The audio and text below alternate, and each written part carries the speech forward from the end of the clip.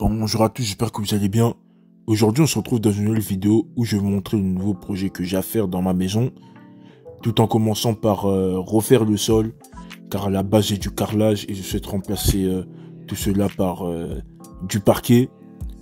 Ensuite, il y a la baie vitrée que vous voyez au fond, car à la base j'ai deux fenêtres de 1 mètre de large, mais je souhaite le remplacer par une baie vitrée car je souhaite avoir plus de luminosité.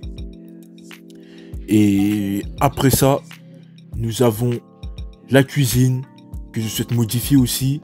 Il faut aussi décaler la porte blanche que vous voyez en face de vous. Et dernièrement, il y a aussi euh, la verrière que je vais installer. D'abord, euh, casser le mur pour ainsi installer la verrière.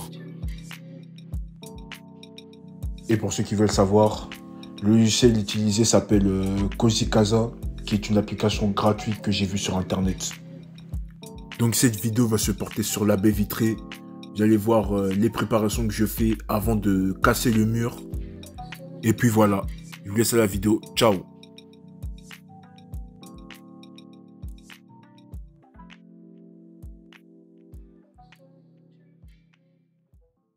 Donc euh, pour commencer, vous aurez besoin de bâches, de scotch à double face, et là, on ne voit pas, mais vous aurez besoin aussi de quelques chevrons.